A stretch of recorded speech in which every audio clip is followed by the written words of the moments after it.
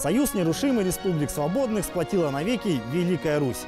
Сегодня, когда исполняют гимн российский, часто невольно вспоминают слова текста гимна советского.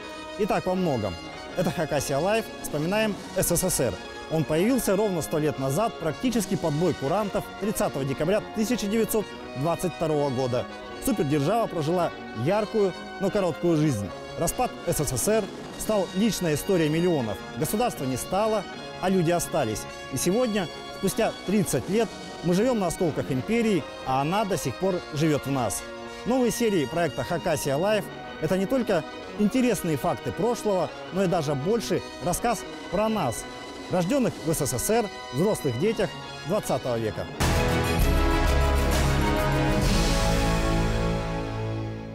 Это произошло более 30 лет назад, но в памяти будто было вчера.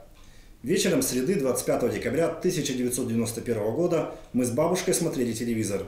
Выступал президент СССР. Михаил Горбачев рассказал, что он, первый президент Советского Союза, станет последним главой огромной страны, потому что капитан остался без корабля. За две недели до выступления Горбачева 8 декабря 1991 года руководители России, Белоруссии и Украины подписали соглашение о прекращении существования СССР. В силу сложившейся ситуации с образованием Содружества независимых государств я прекращаю свою деятельность на посту президента СССР. Так не стало страны, которая, объединив советскую идеологию и традиционные ценности русского мира, победила фашизм, запустила человека в космос, создала огромный военный потенциал и, раскинув сферу влияния России на половину мира, сделала так, что земным шаром по факту управляли всего два государства – СССР и США. Крах супердержавы стал началом изменения всего миропорядка и устройства жизни некогда большой страны. Границы новых государств стали проходить не только через населенные пункты, но и даже через семьи. Левшие на окраинах империи межнациональные распри вылились вооруженные конфликты в Приднестровье, Нагорном Карабахе, Абхазии. В Хакасии распад СССР больнее всего ударил по экономике.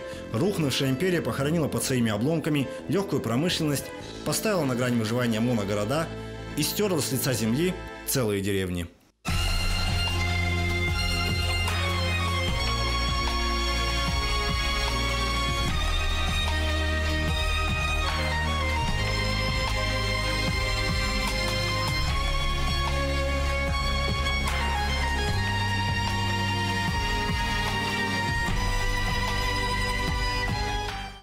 Хакасия, деревня Подлиственки, 2022 год. Все, вот, гляди, наш агрегат. А, вот так вот.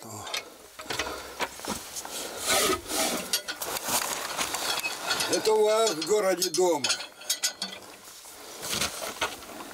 А тут-то бесполезно. А, тут заливать нужно. Сергей Батаев – единственный житель деревни Подлиственники. Все уехали, а он остался. Пенсионер садит огород, рыбачит, подрабатывает сторожем на летней ферме. До ближайшего населенного пункта Июса 12 километров. Там живут родственники. Приезжают с гостинцами и часто звонят. Абакатское телевидение приехало. Снимают меня звезду российской эстрады. Не, ну серьезно. Так, что ты, приедешь? Родня зовет Сергея к себе, обещает помочь перевести дом. Бывшие односельчане так и поступили, хотя дело хлопотное. Дома в советское время строили на двоих хозяев, тогда было удобно. Когда каждый стал сам по себе, не очень. При переезде, чтобы забрать свою часть, надо резать по-живому. Вот и домик Сергея распили на две половинки. Одна уехала в новую жизнь, другая осталась здесь. Так и у Сергея. В прошлом жизнь била ключом, сейчас течет неспешно. В этой жизни пылящая по бескрайней степи машина уже само по себе событие. Подъезжай!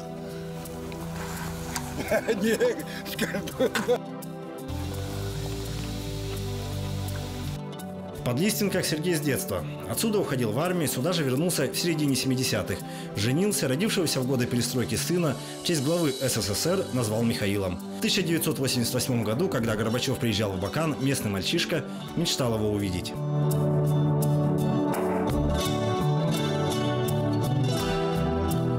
Лидер СССР долго и красиво говорил, призывал ускориться и перестроиться, чтобы вокруг всего было много, а работать можно было мало. Что так не бывает, стало понятно, когда обещанный Горбачевым социализм с человеческим лицом как-то сам собой превратился в обычный капитализм. В мире, где каждый сам по себе, Сергею осталось место только в подлиственниках. История распада СССР для единственного жителя заброшенной деревни – это еще и история личного одиночества. Пока я здесь живу, деревня будет. А вот туда уйду на бугорки, все. Больше сюда же никто не приедет. А вот почему? Вы-то как думаете, почему? Ну как почему? Ну вот погляди. Вот этот меченый. Ну знаешь, про кого говорю? Если бы он не начал свою эту перестройку, и была бы деревня, и все бы здесь жили, все нормально было. На заре перестройки в деревне жило несколько сотен человек. Поля в округе засеивались, в совхозе было 13 отаровец. Гурты на зиму угоняли в тайгу. Сергей вместе с напарниками охранял барашек от волков. Спустя годы все поменялось. Овец становится все меньше, а волков все больше. Вот тут волки воют на горке. Сегодня деревенский пейзаж слился в картину памятников нескольких эпох. С одной стороны подлиственник, древние обсерватории сундуков, с другой – пещеры, где в гражданскую от Гайдара прятался Соловьев. Посреди долины колхозное зодчество, кирпично-соломенный остовый мазанок. Красота!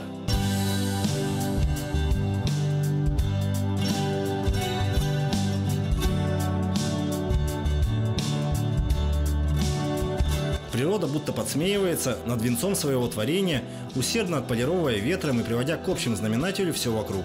Люди приходят и уходят, а жизнь идет своим чередом.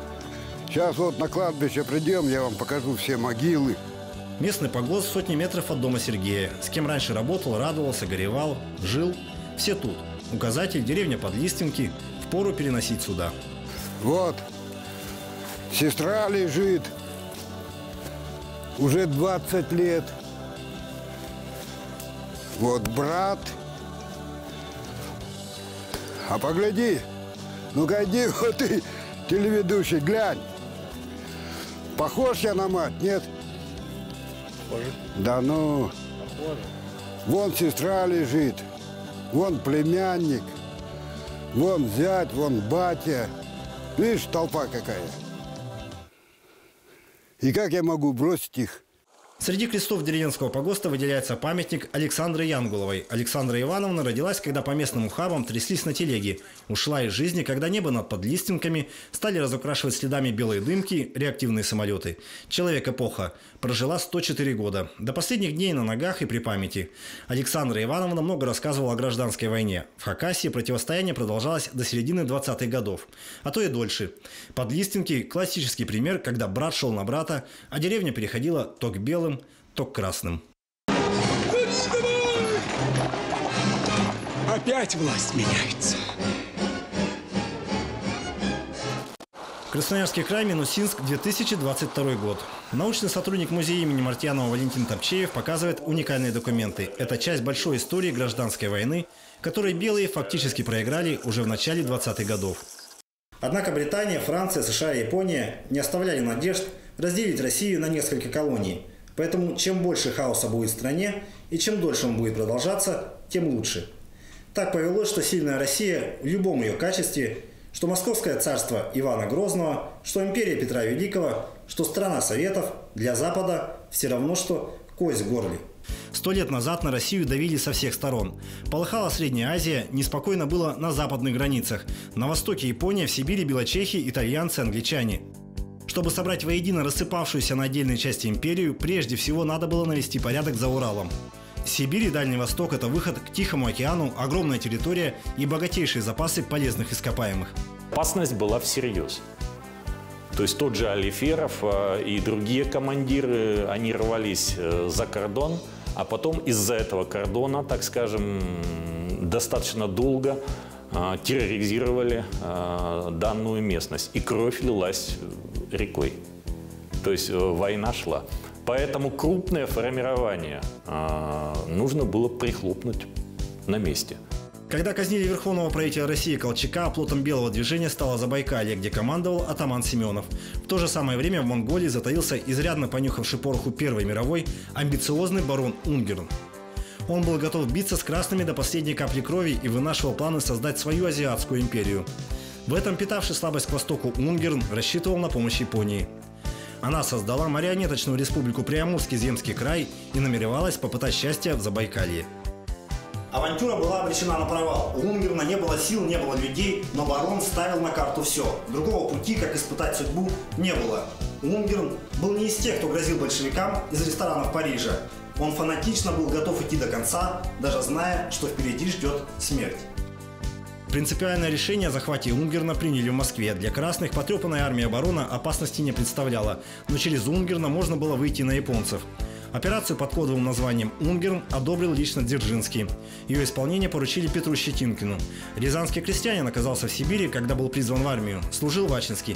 Там же женился. В Первую мировую стал полным георгиевским кавалером. В гражданскую был красным командиром. Бесстрашного Щетинкина называли сибирским Чапаевым. Ему доверяли в Москве и делали на него особую ставку. В окружении Унгерна внедрили чекистов. Друживший с монголами Щетинкин получал информацию от местных жителей. Операция прошла как по нотам. Унгерна выдали красным сами монголы. Для снабжения своих солдат барон силой забирал у монголов последнее. Щетинкин доставил Унгерна в Новосибирск. Его мундир Петр Ефимович передал в музей имени Мартьянова. Здесь он хранится до сих пор. За пленение Унгерна Щетинкина наградили орденом Красного Знамени и присвоили звание почетного чекиста.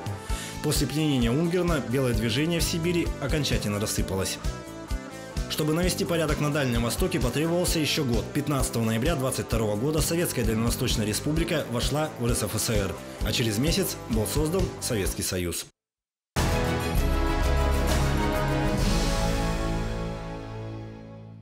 СССР, Москва, Кремль, 25 декабря 1991 года. Через несколько минут Михаил Горбачев выступит с телеобращением гражданам Советского Союза. Он расскажет, что слагает себя полномочия главы государства. Но первым новость о крушении СССР узнает президент США. Джордж, дорогой, приветствую. Я вот хочу начать сначала с приятного и поздравить вас с Рождеством и Барбару, всю семью. Сейчас вот у меня на столе лежит указ президента СССР. В связи с моей отставкой, говорит Горбачев, я также ухожу с поста Верховного Главнокомандующего и передаю контроль над ядерным оружием президенту Российской Федерации. С кем Дэвиди? Прекрасный разговор. Советский Союз родился в канун Нового года и распался тоже в канун Нового года. Вот такая ирония судьбы. Когда целились в коммунизм, а попали в Россию. Империя, которую создавали несколько веков, разошлась по швам всего за несколько лет. Одни говорят, СССР был обречен, другие – он мог жить и развиваться. Что стало причиной? Национальный принцип деления территории, проблемы в экономике, политический строй. Вопросов много, ответ один – ломать не строить. Разрушение СССР было выгодно многим и за рубежом, и внутри государства. Единственные, кому это было совсем не нужно – миллионы граждан большой страны. 17 марта 1991 года в СССР состоялся всенародный референдум. 76% голосовавших, 113 миллионов человек высказались за сохранение страны. Хакасия, 2022 год. Кабинет спикера Республиканского парламента Владимира Штыгашева. В начале 90-х заместителя председателя Верховного Совета РСФСР. Народы Советского Союза приказали всем властям, вождям и всем остальным быть Советскому Союзу сохранить. А после этого три пьяных мужика собрались в Беловежской пуще. Ельцин, Шушкевич и этот Кравчук. И приняли решение распустить Советский Союз. Они там собрались, два вертолета держали в Пружанах, а там рядом Польша граница. И они боялись, что сейчас Горбачев из Москвы пришлет роту спецназа, их арестуют и в тюрьму посадят, как заговорщика. А Горбачев в это время что, он действительно спецназ посылал? Сволочь, он сидел в Кремле, они ему позвонили, они, так вы мне хоть кабинетик в Кремле оставьте пока. Спустя 30 лет после распада СССР мы продолжаем смотреть советские фильмы, напеваем популярные хиты тех лет и с ностальгией вспоминаем детство. 1986 год. Абакан, кафе «Лакомка» 5 лет до распада СССР. На торжественном открытии кафе «Лакомка» советские школьники. Это последнее поколение детей, родившихся в СССР и еще помнящих страну, которой больше нет. Эти воспоминания разукрашены в яркие цвета детства. Шестилетнего Сашу снимает отец, телеоператор Абаканской студии телевидения Павел Нечаев. Он один из тех, кто писал телевизионную летопись советской Хакасии.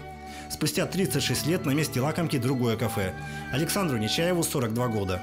У него семья, сын, жизнь сложилась. Сегодня воспоминания о советском детстве как путешествие во времени. Туда, где рисуя миру мир на асфальте, даже представить было сложно, что миру когда-нибудь опять понадобится мир. Гордость за страну была. Это все воспитывалось с самого раннего детства, с дошкольного возраста. Переходило все в школьные, в школьные годы. Но в школьные годы уже более осознанно это все было. Действительно, страна была мощная, большая, сильная, уважаемая во всем мире. По историческим меркам жизнь СССР – мгновение. Ярко вспыхнув, он быстро сгорел. Но энергии было так много, что она согревает нас до сих пор.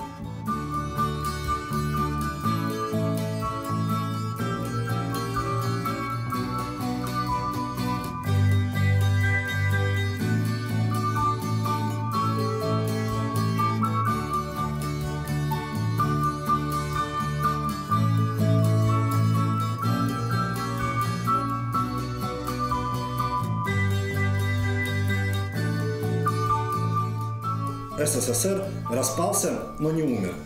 Кто-то ищет в этом тайные смыслы, но может все гораздо проще. Он жив, потому что живем мы, рожденные в СССР. Жизнь продолжается, и как бы на протяжении веков не называлась наша страна, Киевская Русь или СССР, все это было, есть и будет Россия. Так что все еще только начинается. По сведениям Гидромедцентра СССР, в Эстонии 16-21, дождь. На Украине 20-25.